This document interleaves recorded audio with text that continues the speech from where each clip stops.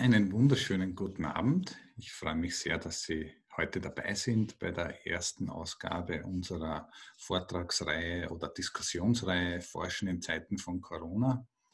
Die Corona-Krise hat uns ja deutlich vor Augen geführt, äh, wie wichtig es ist, dass Inhalte digital verfügbar sind. Sie hat uns aber auch die Grenzen aufgezeigt, also was nicht vorhanden ist und was man dringend brauchen würde und was eben passiert, wenn diese nicht zugänglich sind, wenn man eben nicht rausgehen kann. Icarus hat sich ja schon seit 20 Jahren circa der Idee verschrieben, das gesamte historische Erbe online zu machen. Und wir betreiben verschiedene Plattformen, eine für Matrikel wie Matricula, eine andere für mittelalterliche und frühneuzeitliche Urkunden und eine andere, wo es darum geht, die Schätze aus Privatbesitz, aus den Schuhschachteln, aus den Dachböden, aus den Kellern zu bergen, zu sichern und zu veröffentlichen, damit eben die Geschichte der einzelnen Menschen in den Dörfern Europas gesichert und zugänglich ist. Das ist ein kulturelles Erbe, das unschätzbar groß ist und das dadurch gesichert wird. Heute werden wir uns widmen der Genealogie und der Plattform Matricula, wir haben zwei Gäste bei uns, Otto Amon, ein IT-Experte eigentlich, aber passionierter Ahnenforscher nebenbei und Georg Gaugusch, Historiker und äh, in seinem eigentlichen Beruf auch was ganz was anderes. Und mit den beiden Kollegen werden wir jetzt äh, diskutieren, was sie in ihren Forschungen Besonderes gefunden haben, welche Herausforderungen äh, sie dabei begegnet sind und was sie sich vielleicht auch wünschen würden für die Zukunft. Damit darf ich gleich einmal unsere Kollegen bitten, sich ein bisschen vorzustellen. Otto, darf ich bitten, dass du beginnst. Bitte sehr. Mein Name ist Otto Amon. Ich bin vom nördlichen Weinviertel. Das ist die Gegend für alle, die vielleicht nicht äh, von Österreich aus zuhören. Das ist die Gegend nördlich von Wien. Das ist das Weinviertel. Und äh, und ich bin ganz vom Norden, also von der tschechischen Grenze, an der tschechischen Grenze, eine kleine Ortschaft, die heißt Wilden-Dürrenbach. Äh, dort bin ich her. Habe eine Schriftsetzerlehre gemacht, das Abitur, Abendschule, Wirtschaftsstudium an der WU Wien gemacht. Eine Spanierin geheiratet, äh, war äh, längere Zeit in Spanien und in Westafrika. Und wie ich dann wieder zurückgekommen bin, 1995, bin ich in die IT gerutscht und bin IT-Berater und Unternehmensberater für, also das ist SAP, das ist ein Data Warehouse-Modul, was da gibt und äh, äh, ja, Data Warehouse, äh, Business Intelligence, lauter schöne deutsche Wörter sind es, die da herumschwirren. Ähm, Ahnenforschung betreibe ich seit, seit 1977 und ähm, ja, unter Umständen auch äh, war die Begegnung mit einer größeren Kopiermaschine in meinem ersten Job als Angestellter äh, nach der Lehre mag da mitgespielt haben. Also das Kopieren der alten äh, Ahnenpässe. Mit, das ist so die erste Erinnerung, die ich an die, an die ganze Geschichte habe. Ähm, in den 80ern bin ich mit meiner Mutter äh, relativ oft in Kirchenarchiven gewesen und äh, ab 1995, wie gesagt, der Rückkehr nach Österreich wieder, da habe ich mich äh, äh wieder intensiver damit beschäftigt, äh, habe in Microsoft Access auch eine kleine äh, Ahnenverwaltung-App angelegt. 2013, äh, gleichzeitig mit dem Tod meiner Eltern, habe ich dann zufällig Matricula entdeckt und das war dann eigentlich so richtig der, wie soll sagen, der, der Kick-Off, der Hype. Also da, da ist dann wirklich sehr viel mehr weitergegangen. Und ähm, ja, leider Gottes sind meine Eltern auch 2013 gestorben und deswegen kann ich das, was ich inzwischen entdeckt habe, und das ist gar nicht so wenig, halt mit Ihnen nicht mehr teilen, wäre sicherlich sehr interessant gewesen. Ja, das äh, ist das, was mich zu, äh, zu, zur Ahnenforschung gebracht hat. Äh, ja. Seit 2017 bin ich ja bei Icarus for All auch äh, äh, im Vorstand, also Protokollführer und äh, eine Tätigkeit, die ich sehr gern mache. Seit 2018 studiere ich auch Geschichte und ähm, ja, auch sehr interessant. Und ja, seit 2018 veranstalte ich auch einen kleinen ähm, Familienforscherinnen-Stammtisch in meiner Heimatgemeinde. So, also das sind so die. Und nebenbei muss man auch anmerken, dass Otto Amon auch die Aufgabe der Organisation dieser Diskussionsserie übernommen hat. Vielen herzlichen Dank, lieber Otto. Ja, und der andere Kollege macht im wirklichen Leben auch etwas, etwas, das man vielleicht noch viel weniger vermuten würde, nämlich er verkauft die feinsten Stoffe der Innenstadt, wenn ich in Wien, wenn ich das äh, richtig äh, äh so ausdrücken darf. Ja, also ich, ich, bezeichne mich ja als Selbstdefinition, würde ich immer sagen, ich bin Schnittwarenhändler. ähm, äh, vom Brotberuf. Eigentlich, mein Leben ist ein bisschen kompliziert. Ich bin ähm, ausgebildeter Biochemiker an der Technischen Universität in Wien studiert, habe aber gewusst, dass ich das nicht ähm, machen möchte als Hauptberuf und habe mich dann entschlossen, ähm, das Geschäft meiner Mutter zu übernehmen. Sie ist dann sehr schnell, also sie ist vorher schon krank geworden und ich bin da mehr oder weniger hineingefallen und mache das jetzt seit 2005. Nicht ganz unerfolgreich, denke ich. Und nebenbei befasse ich mich jetzt nicht mit Familienforschung in dem Sinn, also dass ich die eigene Familie erforsche. Das ist etwas, was mich jetzt nicht so interessiert, sondern mich interessieren historische Netzwerkanalysen, wenn man so will. Also mich interessieren ökonomisch genealogische Fragestellungen, wie, wie schauen Familienstrukturen aus, wie schauen Unternehmensstrukturen aus, wie, wie funktioniert das 19. Jahrhundert, das frühe 20. Jahrhundert ähm, ökonomisch ähm, und wie funktionieren die Familienzusammenhänge da drinnen. Also wie, wie, wie entwickeln sich, ähm, wieso werden, werden Familien erfolgreich, wieso gibt's, steigen Leute auf, wieso bleiben manche dort, wo sie sind. Und ähm, Anders dafür war, dass in meiner Firma, die sehr alt ist, äh, kennen Sie vielleicht Jungmann und Neffe am Albertinerplatz, gibt es seit 150 Jahren. Ich habe die ganze alte Buchhaltung. Und in dieser alten Buchhaltung sind Auftragsbücher und diese Auftragsbücher, da sind immer wieder Leute gekommen und wollten wissen, ja, diese Dame gekauft hat, äh, tauchte diese Frau auf. Und ich Student war, Ende der 90er Jahre, habe ich beschlossen, die zu indizieren und ähm, nicht nur zu indizieren, sondern diese Leute aufzulösen, die in diesen Büchern vorkommen. Und das war bei den ganzen Aristokratinnen relativ einfach, aber mittendrin sind lauter Leute, die, die vollkommen in der Historiografie gefehlt haben. Also es gab keine Familien Mandel, Lothringer, lauter Leute, die man überhaupt nicht mehr gekannt hat. Und dann bin ich eben draufgekommen, dass das einfach eine Gesellschaftsschicht war, die extrem wichtig war im, im Europa des 19. und frühen 20. Jahrhunderts. Das sind die, die zu Vermögen und zu, zu Kultur und Reichtum gekommenen jüdischen Familien gewesen. Und die recherchiere ich eben und habe jetzt zwei Bände schon geschrieben und der dritte ist jetzt in Arbeit. Das, der wird hoffentlich 2021 herauskommen. Wer einmal war, hat jetzt schon ähm, ganze Menge Seiten, das kann nicht wie viel und wird wohl, hoffe ich, äh, mir gelingen, es nächstes Jahr abzuschließen. S ist halt eine Herausforderung. S ist ein schlimmer Buchstabe, leider. Ja, das wäre eigentlich dann eh eine Frage, die ich an dich gehabt hätte, wann nämlich der, der dritte Band von diesem epochalen Werk erscheinen wird. Aber du hast es ja gerade schon gesagt. Also wenn Sie, wenn Sie sich näher informieren wollen, schauen Sie ins Internet, wer einmal war, Georg Gaugusch, ein umfassendes Kompendium zur Geschichte des äh, Wiener jüdischen Bürgertums.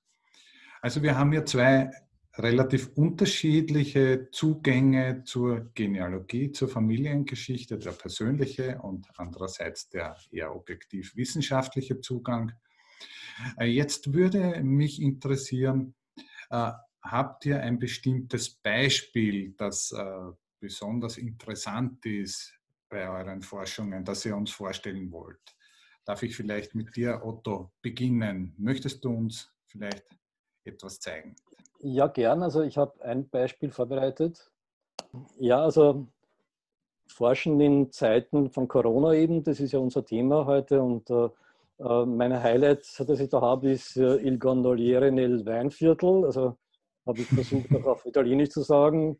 Äh, es hat einen Gondoliere ins Weinviertel verschlagen und von dem stamme ich ab und das äh, bin ich eben, äh, habe ich eben so 2014 erfahren. Also die, 2014 habe ich das herausgefunden. Quellen in dem Fall eigentlich praktisch ausschließlich Matritenbücher und das, was ich eben schon vorher, den, den, den Datenbestand, den ich vorher schon gehabt habe.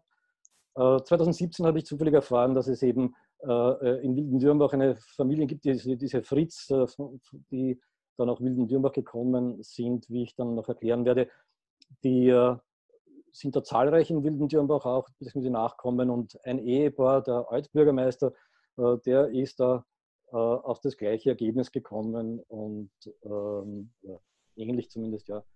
Ja, und die sind auch auf das Ergebnis, zu dem Ergebnis gekommen und die Komplexität, um die, die geht es mir, die möchte ich dann erklären.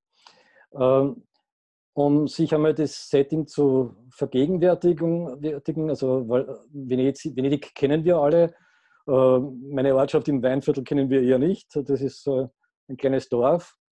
Und, äh, äh, und das Haus hier, das ist das, wo, also unten links, unten rechts, äh, in das dieser äh, Josef Fritz oder geheißen eingezogen ist, der Nachfahre von dem Gondoliere. Und ähm, das Ganze beginnt äh, zur Zeit der letzten Türkenbelagerung von Wien, äh, also 1683 und im Vorfeld dazu, man, viele wissen das wahrscheinlich eh, aber ich rufe es in Erinnerung, also die, das Osmanische Reich ist sehr groß und mächtig geworden, hat den ganzen Mittelmeerraum und den Balkan beherrscht und ist immer stärker Richtung Römisches Reich, also Wien als Hauptstadt, vorgedrungen. Und hat es eine erste Türkenbelagerung gegeben und im Anschluss dazu hat, äh, die, hat Habsburg auch die ungarische Krone, die Wohnländer der Stephanskrone äh, äh, erwerben können. Äh, allerdings nur ganz kurze Zeit, beziehungsweise nicht, nicht ohne Einspruch. Und vor allem, also die, die, die, die Osmanen sind da relativ hoch nach Norden vorgestoßen schon und haben im ganzen äh, 16., 17. Jahrhundert praktisch diese ungarische Tiefebene bedroht. Und Wien ist da nicht weit weg davon und, und somit ist es immer stärker bedroht worden. Es hat immer wieder Übergriffe gegeben, äh, Grenzstreitigkeiten, also Grenzschwierigkeiten, die, die sind dort plündernd immer wieder eingefallen, auch ohne Territorium zu erwerben. Und letzten Endes, also 1683, äh, sind, haben sie sich Richtung Wien in Bewegung gesetzt und das hat man natürlich schon im Vorfeld gewusst. Und da sind im Weinviertel, also hier, das ist Niederösterreich, dieser Teil hier, das ist die Grenze vom Römischen Reich gewesen, dieser rote Strich und dieser auch gelbe Bereich, das war dieser äh, der Habs, den Habsburgern gehörende Teil von Ungarn. Und das andere war eben osmanisch, türkisch-osmanisch, wie man besser sagt. Und äh, äh, also die kommen jetzt. Und das hat man, wie gesagt, vorher gewusst. Und dann sind äh, von den, von den Landständen in Niederösterreich, der niederösterreichische Land, da, die haben beschlossen, dass bestimmte Burgen eben äh, ähm, als Wehrburgen wieder hergerichtet, in Stand äh, gesetzt werden sollten und dann zur Verteidigung dienen. Und, für, und vor allem also zur, nicht zur Verteidigung, sondern äh, zum Schutz der Zivilbevölkerung. Und eine dieser, ähm, dieser Burgen, also hier sehen wir noch eine ältere Darstellung von diesem Weinviertel, von dem Bereich nördlich von Wien. Da ist die Theier oben als Grenzfluss und das ist Dirnbach, das ist Wildendürmbach und Hagenberg, von dem spreche ich jetzt, äh, von diesem Hagenberg, wo eben diese Burg steht. Äh, die hat so ausgeschaut, so um 1670, eine Darstellung von Georg Matthäus Fischer von der Topografie aus Jörg. Und ähm, der Besitzer, ein gewisser Graf Theodor von Zinzendorf, äh, der muss einmal in, Venedig gewesen sein, das hat ihn fasziniert offenbar. Und er hat sich von da drei Gondeln und drei Gondoliere kommen lassen, beziehungsweise die angeheuert und die sind gekommen.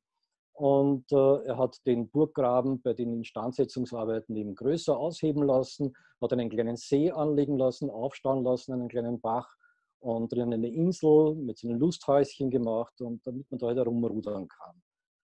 Und wenn man dorthin fährt, da gibt es noch immer eine, eine, Beschilderung, die eben da auch diesen Zusammenhang da nochmals erklärt. Und äh, um 1700 war sogar der äh, Kaiser Leopold I. mit seinem Sohn Josef I. einmal da oben und sehr verlustriert äh, äh, darüber, äh, da herumgerudert zu werden. Und also das ja, das, das, das war so. Und ja, jetzt, wie kommt, wie komme ich zu diesem Vorfahren?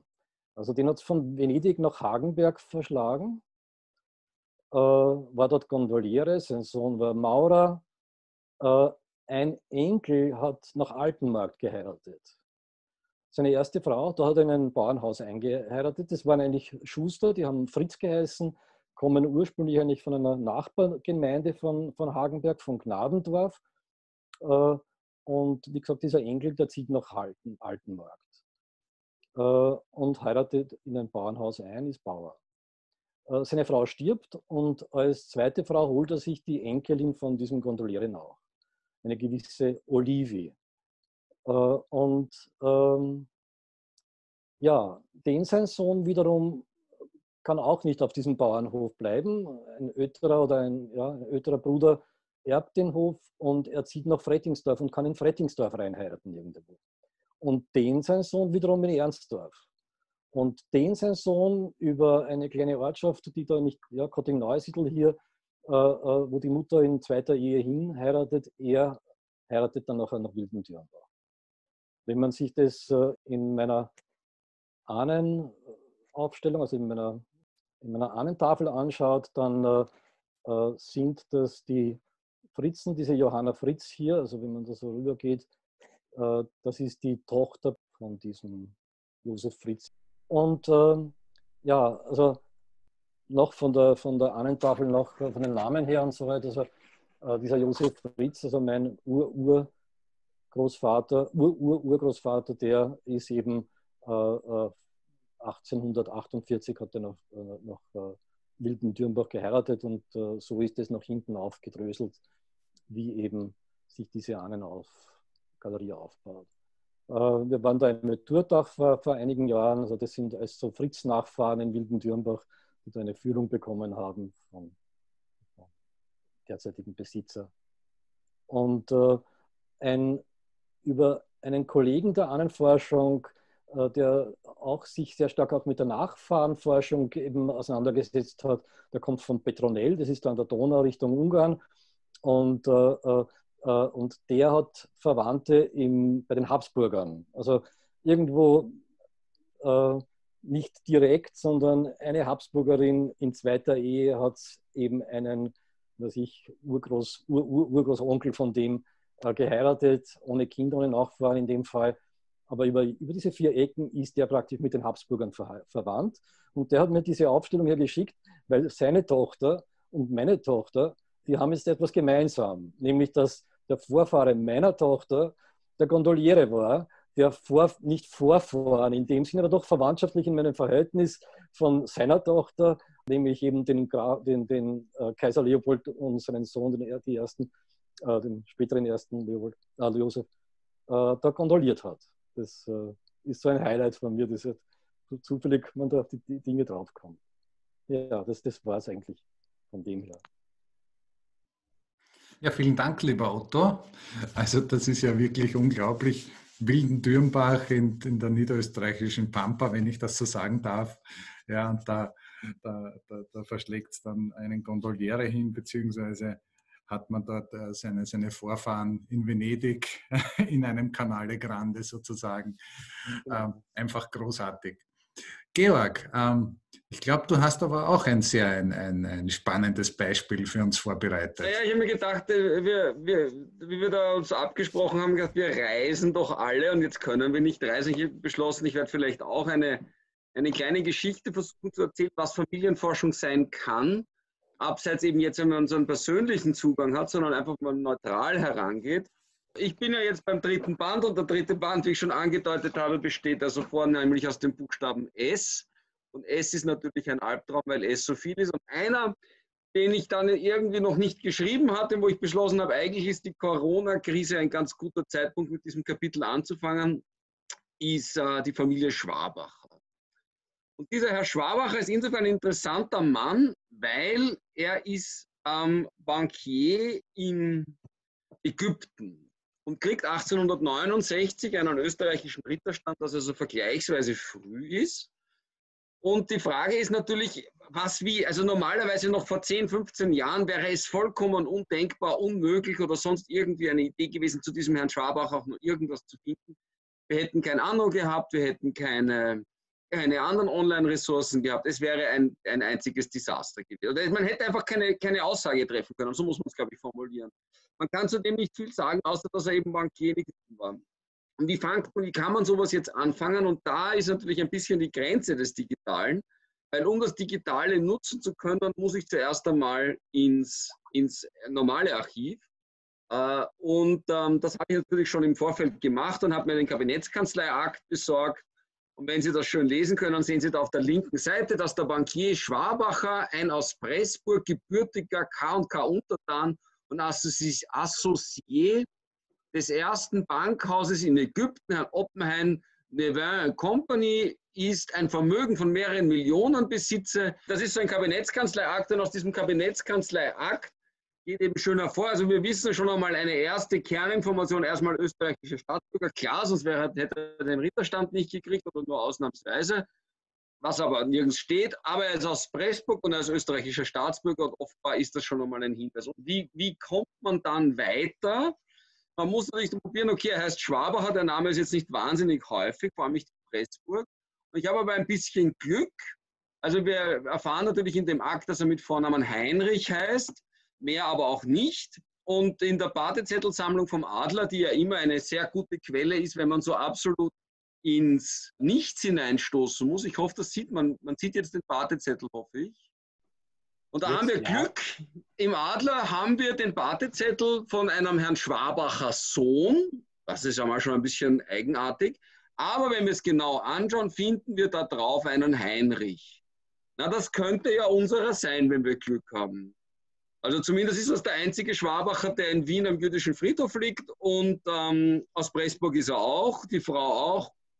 So wie Heinrich Schwabacher wird es nicht gegeben haben. Also wir können das mal als Arbeitshypothese hernehmen. Und bis jetzt haben wir natürlich lauter Dinge, die, die nur analog vorliegen. Und jetzt haben wir natürlich viel schon recherchiert. Und tatsächlich, wenn man jetzt in die Konskriptionsbögen der Stadt Wien geht, das ist also eine wunderbare Quelle. Ähm, so, da ist er. Sieht man ihn schön, Simon Schwabacher, Schwabacher Sohn mit der Gattin und den ganzen Kindern. Und er wohnt also im Haus 557 auf der Durchlauben.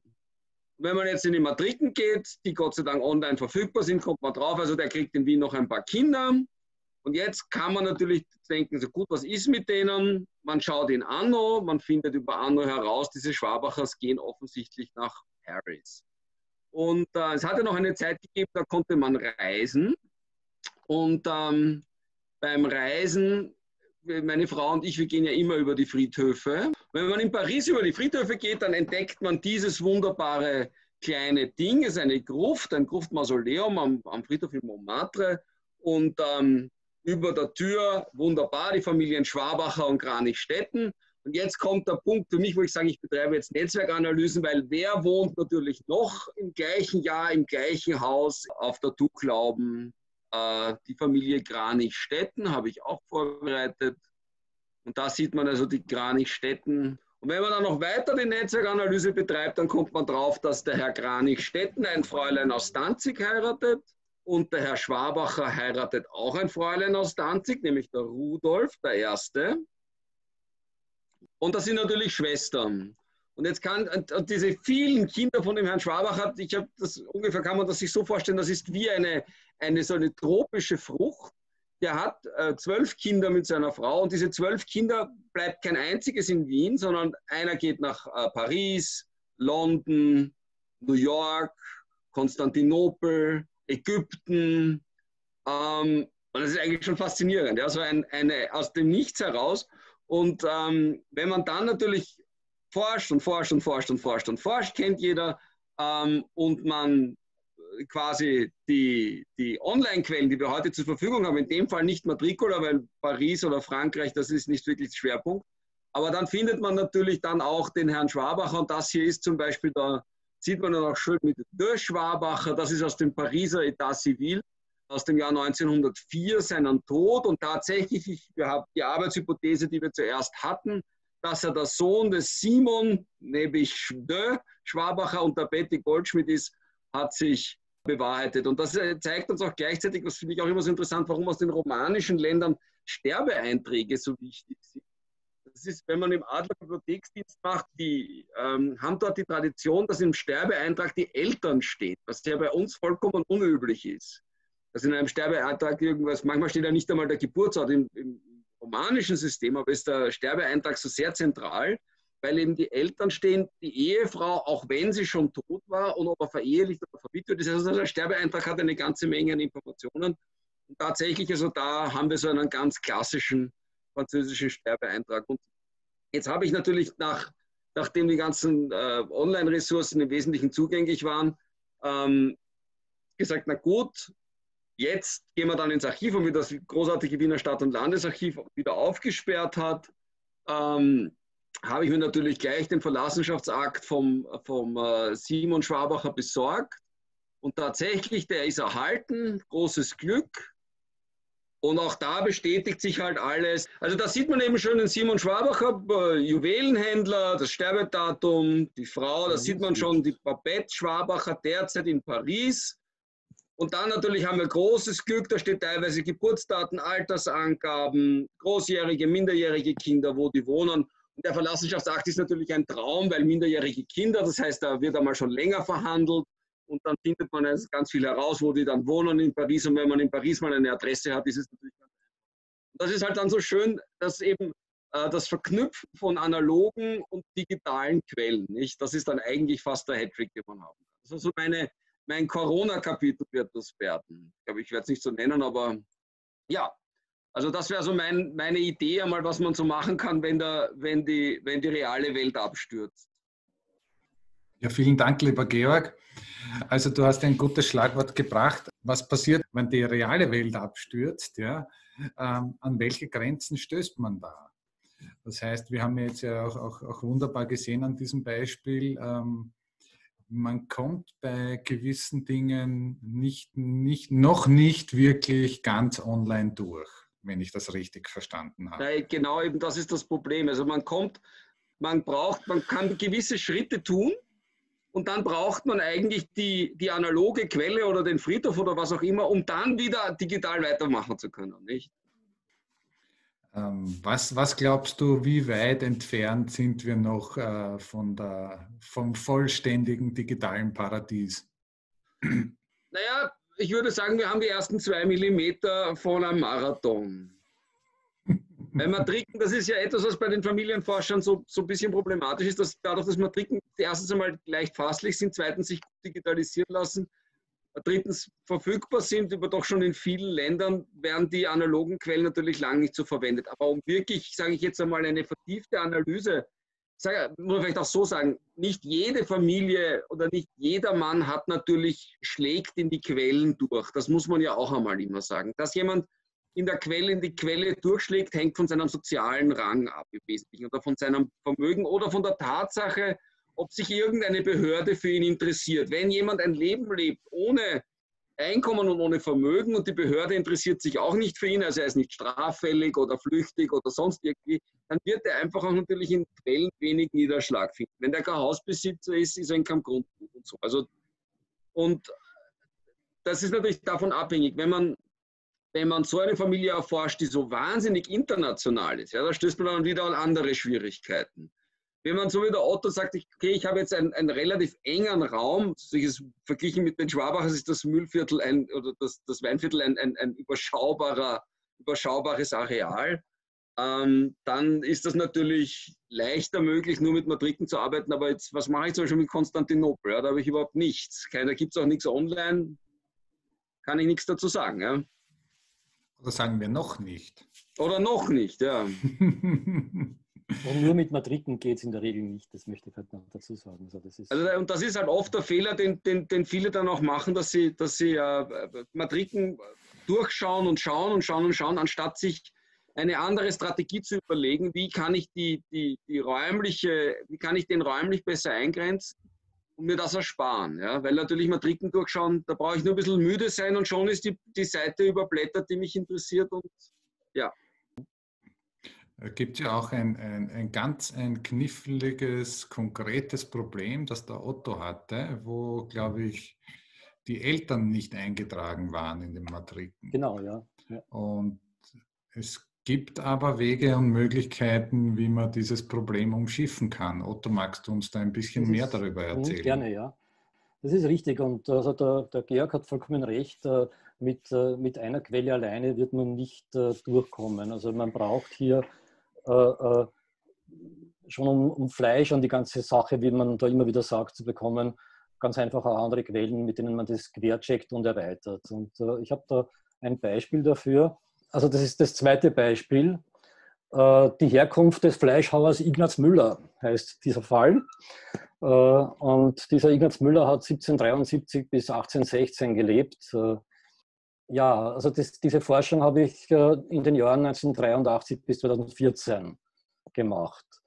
1983 mit meiner Mutter war ich da im Pfarramt in, in der Propstei in Staats und habe diese Fleischhauer, die dort in Enzersdorf praktisch lokalisiert waren, letzten Endes ähm, uns, die haben wir angeschaut und da sind wir nicht weiter zurückgekommen.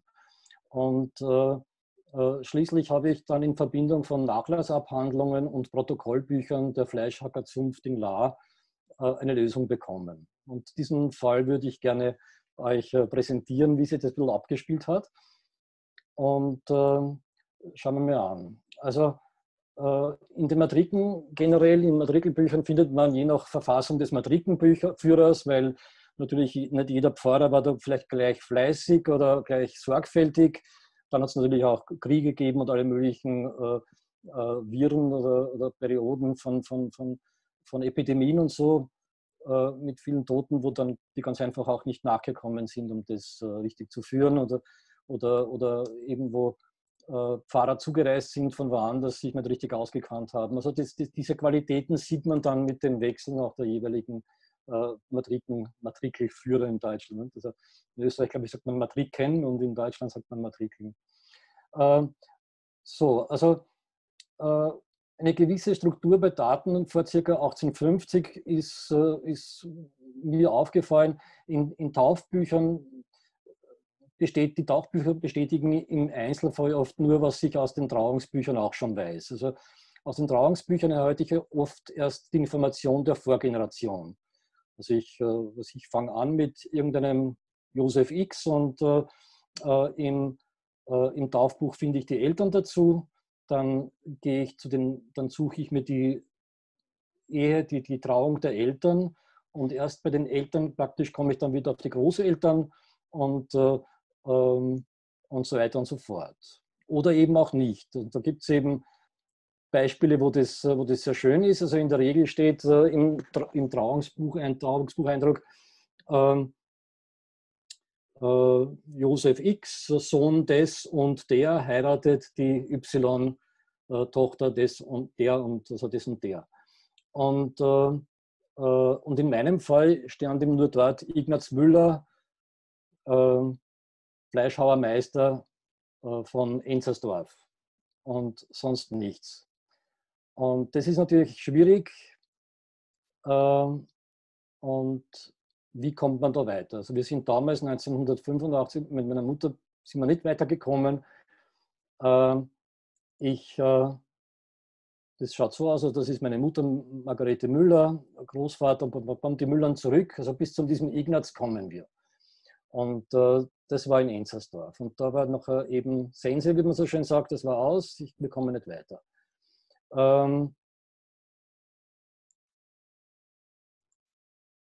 äh, wenn man sich das praktisch im, im, in meiner Stamm, in meiner Ahnen- oder Familien-App, äh, äh, die ich da mir erstellt habe, mit Dings anschaut, mit, mit meinem Success, dann, dann schaut es so aus. Jetzt sieht man hier Otto Amon und Remedios Vega Gomez. Praktisch, also das sind meine Geburts- und Sterbedaten. In dem Fall, wenn es zutreffen würde, zum Glück nicht meine Familie, meine Tochter und äh, hier bin ich eingebettet mit meiner Schwester in der Familie meiner Eltern.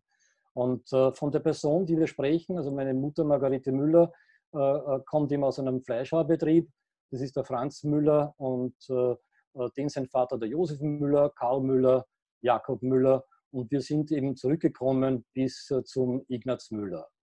Und beim Ignaz Müller, den ich jetzt hier als Referenzperson, also als Probanden habe, als Hauptperson, äh, der hat die Juliane Höbert geheiratet. In, ähm, äh, in, in Ames war diese, äh, war diese Ehe und da habe ich die Doku auch. Und da steht eben nur da, ja, das kann ich groß machen. Und da steht dann nur da, also am 29. Jänner, Ignaz Müller, Fleischhauermeister von Enzersdorf, aus Enzersdorf Nummer 35, das war das Wirtshaus und die Fleischhauerei, 24 Jahre alt, das wusste ich und ledig, das wusste ich auch. Aber sonst, äh, also von den 24 Jahren und da das hier im, im, äh, im Jahr 18, äh, 1797, 98 war, also musste er so, so, so circa 1773, 74 herum geboren sein. Aber sonst äh, habe ich nichts gefunden. Und ich habe viel gesucht. Und das, was ich jetzt gerade gesagt habe, das kann man eben noch auf der Karte so äh, nachvollziehen. Also äh, meine Mutter in Wildendürmbach, ihr Vater äh, Fleischhauer in Europa, also ihr, ihr Vater Fleischhauer in Wildendürmbach, der Großvater von ihr in Rupersdorf, äh, äh, kam ursprünglich von Neudorf, den beziehungsweise in Neudorf hat er eigentlich äh, äh gelernt, war der Strasser Päpsch, der beim Strasser Fleischhauer gearbeitet hat oder gelernt hat. Äh, sein Vater war in, äh, in Wesselsdorf, äh, beziehungsweise geboren wurde er in Walterskirchen und den sein Vater wiederum kam von Staats und den sein Vater aus Enzersdorf. Das ist in dieser Ignaz. Da sind wir und wie geht es weiter zurück? Was mache ich? Ich bleibe natürlich bei der gleichen Quelle, nämlich bei Matricula und suche weiter. Und ich suche und ich suche und alle diese Kreuzer, diese schwarzen, sind äh, die Matriken, die, die, die Pfarren, die ich da eben virtuell online abgeklappert habe. Und ich habe das eine oder andere gefunden, also, äh, Fleischhauer, die auch Müller heißen, äh, aber ich konnte letzten Endes diesen diesen Missing Link nicht finden und auch nicht, welche Fleischware Müller jetzt wirklich zu meinen gehören, weil Müller ist, wie bekannt ist, ein recht häufiger Name und es gibt eben auch äh, parallel mehrere Fleischhaarfamilien, die Müller geheißen haben, so durch die Jahrhunderte durch. Gut, ähm, die Lösung äh, erfolgte letzten Endes durch Reisen. Also das ist der Stand, so praktisch, was ich damals gewusst habe. Und ähm, und dieser Link, der hat mir dann gefehlt. Ne? Dieser Ignaz Müller, von wo kommt er? Und äh, ich bin dann ins äh, Niederösterreichische Landesarchiv nach St. Pölten gebilgert und habe dort die Nachlassabhandlungen äh, durchforstet bzw. mir ausheben lassen. gesagt, ja, ich brauche das von, äh, von Enzersdorf, weil dort ist er gestorben 1816 und habe das dann auch präsentiert bekommen. Das ist so ein dickerer Stoß den macht man dann auf, da sind schöne Schnüre drauf und, äh, äh, und dann blättert man da durch und findet seinen Akt und das ist in dem Fall dieser hier. Und äh, in so diesen Nachlassabhandlungen äh, sind zwei Sachen, die, die sagen wir mal so, wirklich für die, für die äh, Detektivarbeit der Vorfahrensuche relevant sind. Das eine ist dort, wo es um die Erben geht. Da sind dann für die erbberechtigten Kinder aufgeführt und die äh, Ehepartner natürlich, die man da in der Regel schon weiß. Ähm, aber man weiß unter Umständen auch, aha, da ist eine Frau dabei, eine Tochter, die hat geheiratet und heißt jetzt anders. Und vielleicht steht sogar dabei, wo sie, zum Beispiel, dass ich Dienstmarkt in Wien ist oder was, äh, dann kann man da eventuell was auch über die finden. Und also das ist das eine, was interessant ist. Im konkreten Fall äh, von dieser Abhandlung sind die Erben die vier ehelichen Kinder, Elisabeth 17 Jahre, Jakob 16, Josef 12, Ignaz 8 Jahre. Also das, äh, ja, das ist ein junger Ignaz. Der Ignaz ist gestorben, mein Dings. Ne? So, ja, und dann sind noch Josef Schodel und äh, Dings, das sind dann die Vormund, die bestellt sind. Also dieser Josef Schodel in dem Fall. Das ist äh, äh auf der einen Seite. Äh, auf der anderen Seite habe ich Glück gehabt, dass bei den Unterschriften der Zeugen äh, hier mir einige Namen aufgetaucht sind, mit denen ich ursprünglich nichts anfangen konnte, aber wo ich gedacht habe, hoppla, das muss was mit so sein, was mit mir also, äh, in Verbindung zu bringen ist mit den Vorfahren. Und zwar einen Johann Georg Milner und einen Johann Michael Milner unterschreiben da. Ob das der Müllner, Müller, Müllner, Milner heißen, äh, das kann alles das Gleiche sein. Also. Und äh, dann Soweit einmal zu der Nachlasssache. Also das ist eine Quelle, die, die sehr, sehr, sehr gut ist.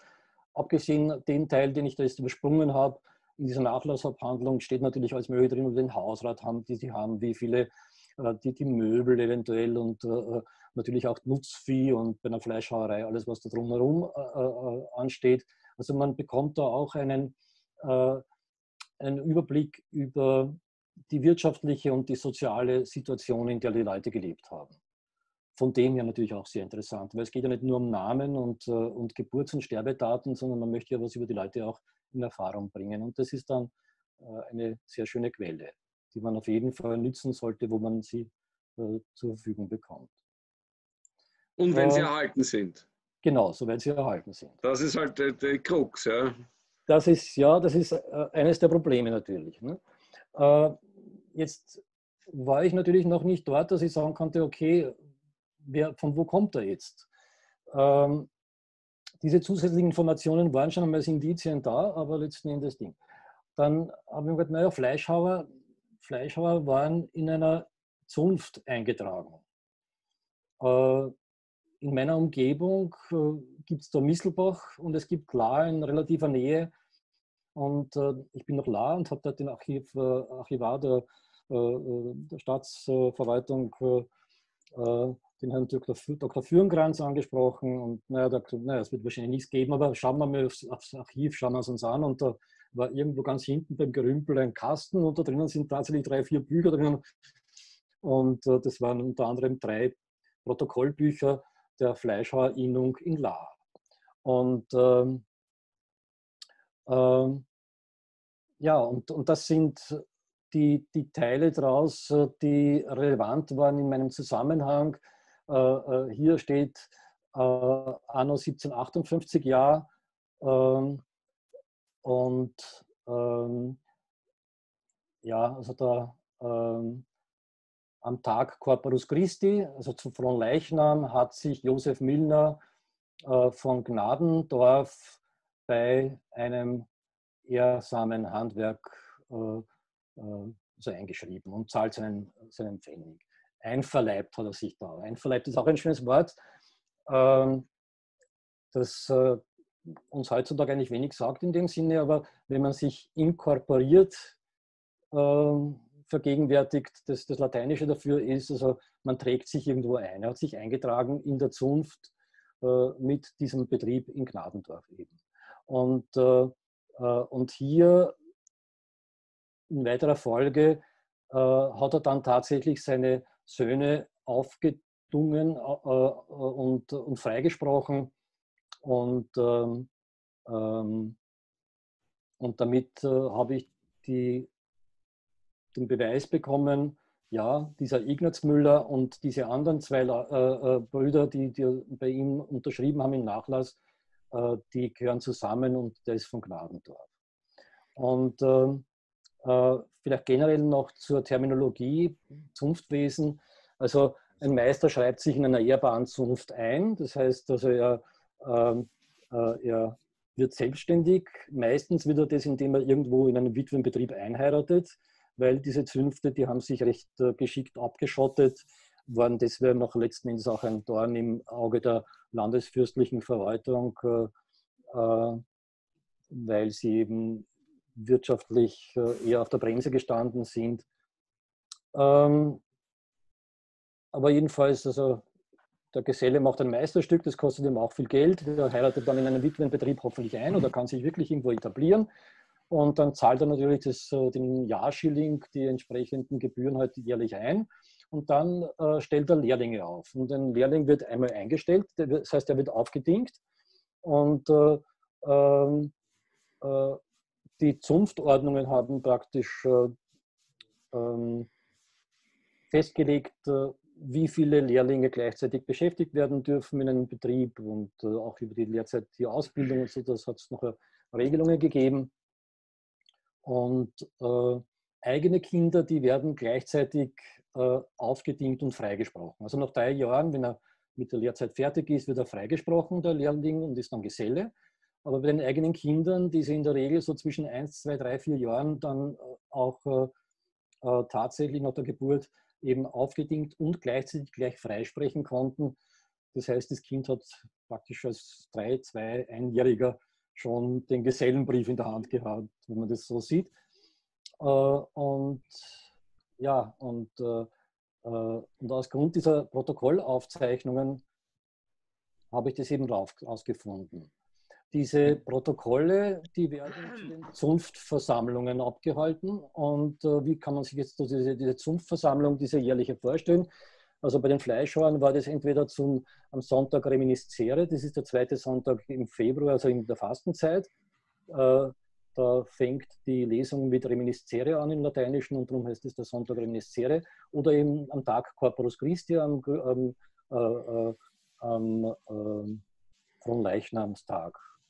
Also das ist ja ein wunderbares Beispiel, wie man, wie man eine Brücke findet genau. ja. von einer Information, die einfach verloren ist oder nicht vorhanden sind, ist und wo man dann schön weiterkommt. Also und dass es sich wirklich lohnt, in Gemeindestuben zu gehen und dort in, in Kästen zu stöbern, weil dort könnte sich noch ein altes Zunftbuch äh, naja. befinden mit einer wunderbaren Information. Ja, also eher in den, in was, den Städten was? natürlich in größeren, aber, aber, aber sicherlich. Ja, also es, ja. es ist, glaube ich, schon sehr wesentlich, dass man ähm, bei aller Schönheit und bei allem Komfort, den Matricula bietet, ähm, äh, dieses, dieses, äh, dieses, dieses Matrikenbuch, das man da abgegangen ist in Gnadendorf, hat sich übrigens dann auch gefunden.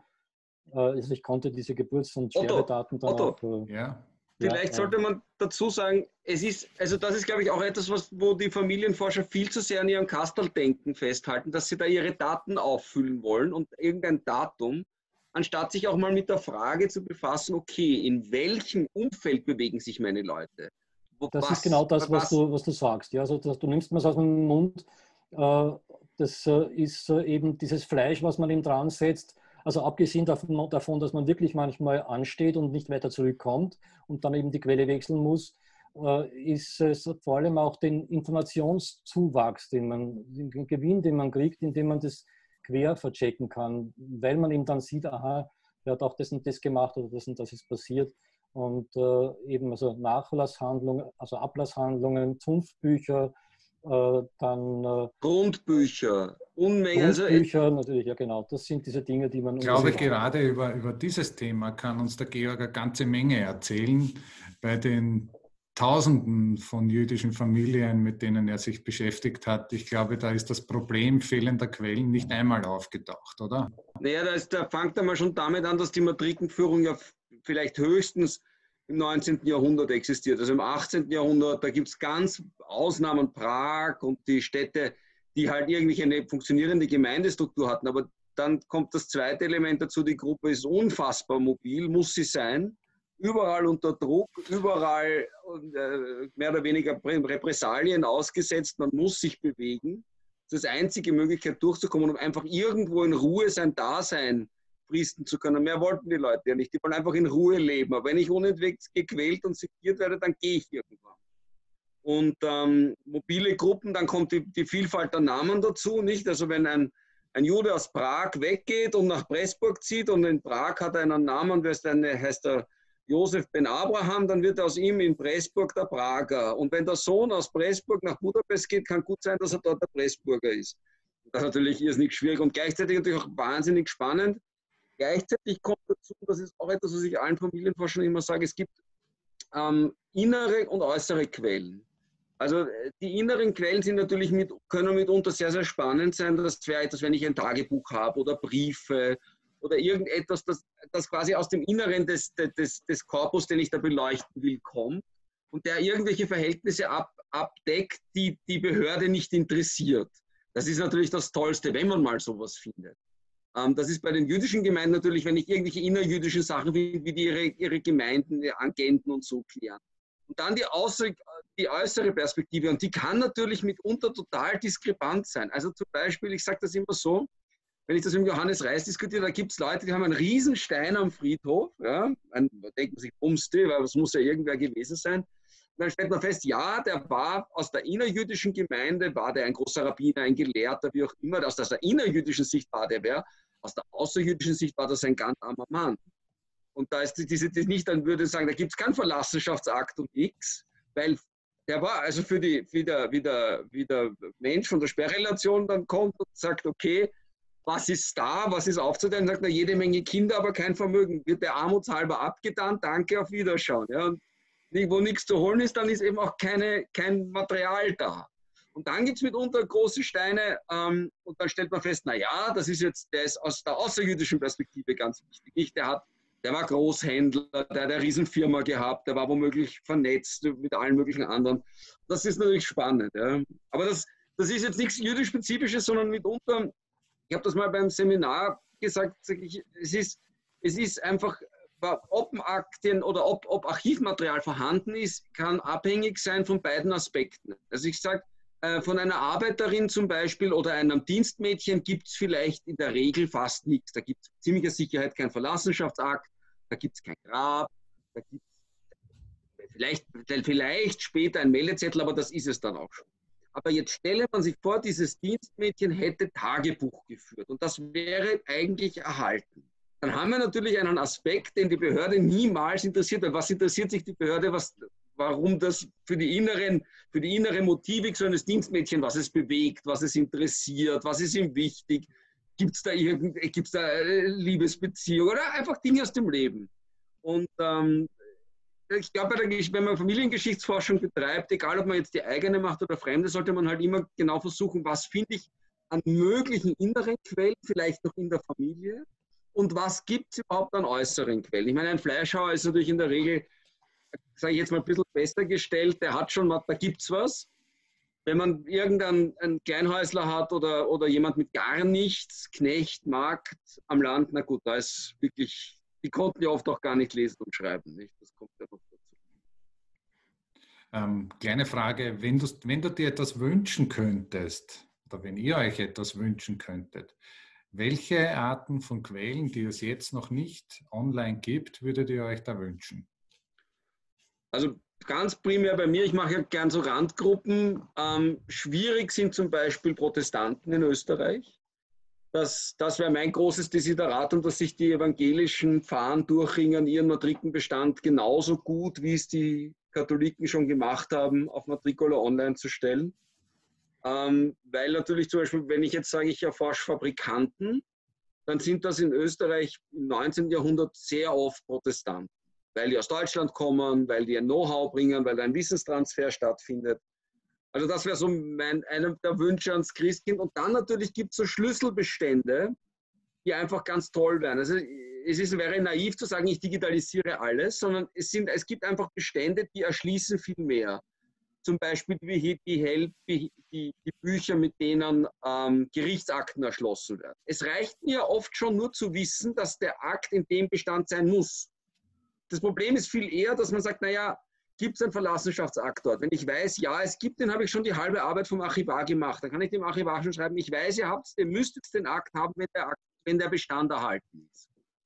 Das ist dann vielleicht der nächste Schritt. Ja, das ist schon, dann hat man auch ein Datum, ähm, großes Beispiel zum Beispiel, ich weiß, jemand stirbt in Wien zwischen 1840 und 1855.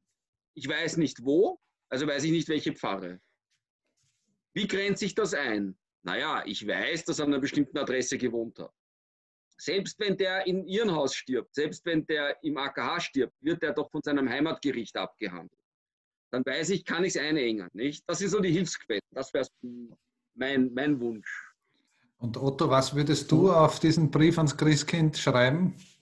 Ja, also wenn ich meine Vorfahren äh, analysiere, nach Gruppen einteile, da gibt es einerseits natürlich die Bauern, die Landwirte, die sind bei mir sehr, schon sehr stark vertreten auch, ähm, auch Kleinhäusler dabei, die äh, kann man über Grundbücher recht gut ähm, ja, einordnen, beziehungsweise Dinge weiter rausfinden, nach hinten verfolgen. Äh, es ist ja auch so, die, die Matrikenbücher hören ja spätestens bei uns da oben 1650 auf, gut laut 1590. Das ist aber schon dann ein, ein, eine ganz seltene Sache, dass etwas so weit zurückgeht. Gibt schon immer wieder, aber ganz selten. Und äh, was noch weiter zurückgehen würde, wären dann eben äh, grundherrschaftliche Aufzeichnungen und das sind im Prinzip eben die Grundbücher äh, und, äh, und vorher noch Urbare und so Dinge, wo man natürlich nicht mehr eindeutig festlegen, feststellen kann, ist es wirklich ein Vorfahre von einem. Aber wenn die mit dem gleichen Namen draufgelebt haben, zurück, dann kann man unter Umständen ein, zwei, drei Jahre äh, Generationen noch zurückgehen. Vor allem Grundbücher eignen sich auch gut im, in der Ortsfamilienforschung, wo es eben auch darum geht, mit den anderen Leuten, die sich dafür interessieren, äh, so Häuserlisten zu erstellen oder so, dass man, dass man hier praktisch abgleichen kann. Das ist eine schöne Sache. Ähm, auf der anderen Seite, ich habe natürlich auch Gewerbetreibende, das sind, äh, das sind Wieseln, die springen immer herum, man weiß nicht, von wo die kommen. Äh, das sind natürlich Zunftbücher, schön, wenn man die alle online hätte. Und, äh, und dann ein dritter, nicht unwesentlicher Teil bei mir, das sind Leute, die auf den Gutshöfen gearbeitet haben. Also bei uns da oben diese, diese den Grundherrschaften direkt gehörenden und von denen auch direkt betriebenen äh, Betriebe. Äh, das waren, die haben dort eben Schafe gezüchtet oder, oder Rinderherden gehalten oder was auch immer. Und, äh, und da waren Experten zum Beispiel in der Schafzucht und das sind Schafmeister und das sind Vorfahren von mir. Die waren außerdem so organisiert, dass sie immer aneinander geheiratet haben. Also die, die, das war im Prinzip als unehrliches Gewerbe einmal äh, nicht verschrieben, die haben so geheißen, hat nicht geheißen, dass die stehlen oder was. Dieses Unehrenhaft, das muss man in einer ganz einer bestimmten Sicht sehen. Also das geht, führt jetzt zu weit. Aber das hat dafür geführt, dass die halt sehr stark untereinander geheiratet haben, auch über weitere Strecken hinweg. Und da wäre es schön, wenn man eben auch gut, also grundherrliche, äh, grundherrschaftliche Aufzeichnungen hätte. Das sind so die Wünsche, die ich hätte. Ja, da ist ja sehr viel im Gange diesbezüglich, etwa im niederösterreichischen Landesarchiv, wo Family Search ja ganz umfassend die, die grundherrschaftlichen Protokolle derzeit digitalisiert. Also ich denke, wir haben jetzt wirklich einige sehr spannende Beispiele gehört äh, von, von Forschungen, von Einzelschicksalen, äh, auf die man so stößt in den diversen Quellen.